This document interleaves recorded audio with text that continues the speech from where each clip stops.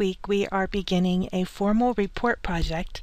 It continues from lesson 86 all the way through lesson 90 and it's a little tricky to navigate all of the submitting to GDP and then opening it back up and going on to continue in the next lesson. So feel free to view this video as a way of walking you through the steps of this long report. Now styles are introduced in this lesson and they will be applied in lesson 86 through 89 and up to this time you've been using a default word style that includes a Calibri 12 point font single spacing and spacing after paragraphs of zero point. The style in these lessons will change those defaults for the font size, line spacing, and it's going to alter paragraph spacing. So it's important that you work through the word manual lesson before you type report 8660. That is located here 86D, word processing styles. Be sure to read this through and do the project in your word manual in conjunction with the software here. Then we're going to begin our report. Notice right away that we've got a message over here on the left. Your textbook may have a printing error on page 352 in line 8. The name Furman should be spelled with one more N at the end. Now another reminder is that the steps for completing this report are outlined on page 349 and 350 of your textbook, as well as the checklist that we're going to pull up. So be sure to review those points before you begin work on page 351. And remember that you're going to apply the styles as the final step in each lesson. Now I will also remind you that the directions for this report are different from those you have been using when preparing reports prior to lesson 86. The correct spacing will be adjusted when you apply the styles, so do follow the directions specifically. The spacing and formatting will be added as the styles are applied. When you're ready, click Start Work. One tricky thing about this project is going to be matching the name at the top of the document with where you're working in Word and it's going to be a little bit staggered and different so uh, just keep up with the video as you go along. Now you will press enter five times to begin the report two inches from the top of the page. One, two, three, four, five. And then we're going to type the title in all caps but we're only going to press enter one time. And notice we are also not worrying about centering it yet. We're going to type the byline in upper and lowercase letters and only press enter one time after each line, then type the date, and then we will press enter two times. You also have proofreading marks that you'll need to look up if you don't remember what they stand for. And now we're ready to begin the first paragraph. With the first paragraph finished, we press enter one time and type the side heading in all caps press enter one time, take off caps lock, and add the next paragraph. At this point we press enter one time again, put on caps lock to type Intercultural Seminars, the next side heading, press enter one time. Now we are ready for a list of cities and you'll notice that your textbook says press enter two times. We do want a blank line between every paragraph and before and after lists. So this part is as usual. I'm going to show you a different method of typing the list. Instead of turning the bullet command on when I begin, I'm going to just type the list of cities. Press enter two times as you'll note in the book. You're ready to begin the next paragraph.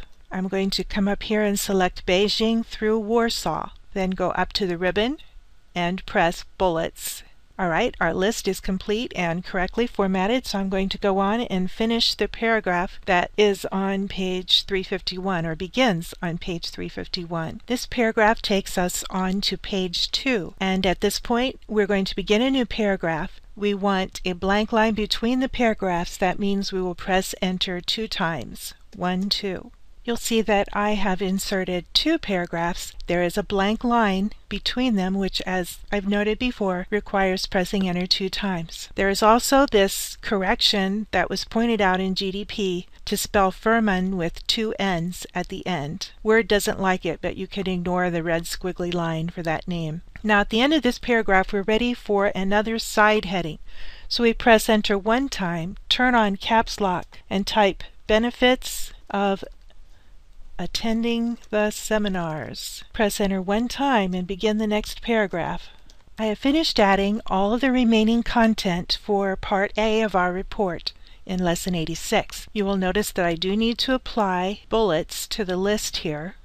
So I select each item, click the bullet command, and they are all now automatically formatted correctly. Okay, we have all the content entered, but now we need to do the finishing touches. We need to insert a header, and you'll notice on the checklist that I've inserted some instructions about that. They're also in your textbook for the most part. If you have clicked anywhere in your document, you're going to insert a header. We're going to do that here. Just take the first blank option in the left margin, we're going to type Human Resources Department. We're going to press Tab until we reach the right margin. That's going to require two tab strokes. One, two. We're going to type Page and one space following. Then we're going to insert a page number at the current position. So under Page Number, the drop-down menu, come to Current Position choose the first option, plain number. Okay, we're not finished yet. We're going to select all the header information. Format it using Cambria 10 point italic. So go to the home ribbon. We're going to select Cambria 10 point and italic.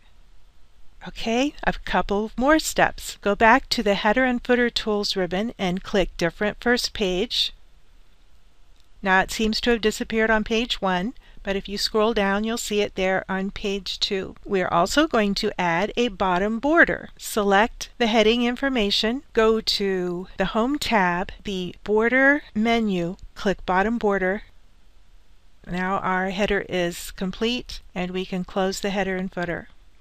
Now we're going to apply the styles that you learned about in the Word Manual lesson. First we're going to apply the title style to the report title. So selecting the title, we come to the Styles gallery on the Home ribbon. The title style is, on my computer, the first one on the left in the second row.